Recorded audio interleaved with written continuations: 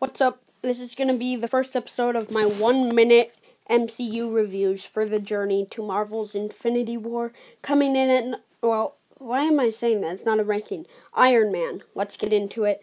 It's fantastic. It is my sixth or seventh favorite MCU movie, which is saying a lot because the MCU is incredible. It's so good. Robert Downey Jr. is great. The villain.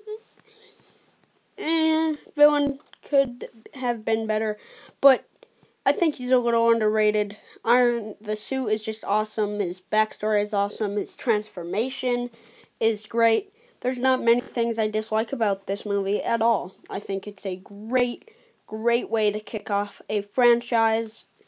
It's just an awesome movie, you know.